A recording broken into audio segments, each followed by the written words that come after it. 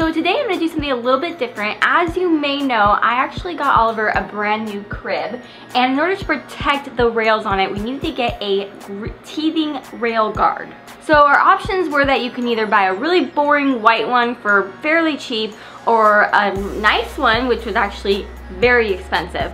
So I went with making his teething rail guard. So the way this works is that it actually just kind of you know, ties on it, it protects it so that if he bites the um, fabric, it's obviously not going to damage the crib. Okay, so I can't do a full in-depth video on how I made it, but I can kind of walk you through it. Plus, I'm gonna have the blog post that I followed in the description, so you can check that out.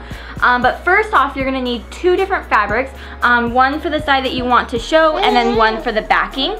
And then you're also gonna need some batting, which is gonna go inside of it. And you're also gonna need some matching ribbon. So first thing I did was I measured the length of the crib, which showed me exactly how long I needed the fabrics on the outsides. And then I cut the batting one inch shorter on all the sides that fits inside of the fabrics. Alright, so next you're going to actually fold over all the sides of both the fabrics and fold, you're going to fold it down a half inch and sew them so that there's a perfect edge. In the instructions it says to do this, but once I did this, I realized that I probably could have just ironed it pinned it, and sewed it shut with both the fabrics. I feel like I could have done it that way because this is really simple, really easy project, and this is actually not even shown because it's folded over, and so I feel like if it was imperfect, which this is, it would have been fine. So next, before you actually sew the two pieces together, you're gonna wanna pin it all the way around and you're gonna wanna make sure that you include all the ribbons that you're gonna want.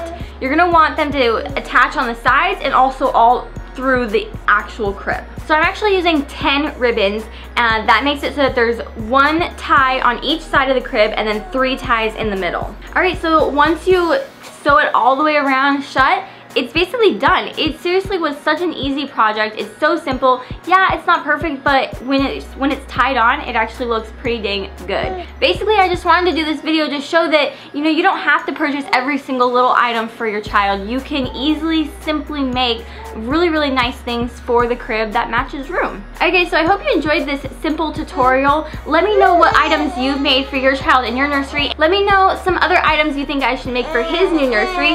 And just so you know, I actually am going to be doing a full nursery tour so you guys can see everything that I purchased, everything that I made once it's all done. I'm really, really excited. I'm really looking forward to it.